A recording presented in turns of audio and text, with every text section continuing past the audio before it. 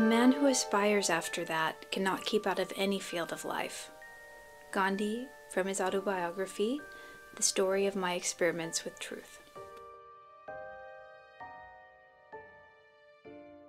If you really want to be nonviolent, you can't just confine it to one sector in your life, like saying, I'm going to be nonviolent with my family, but certainly not with the government, or vice versa.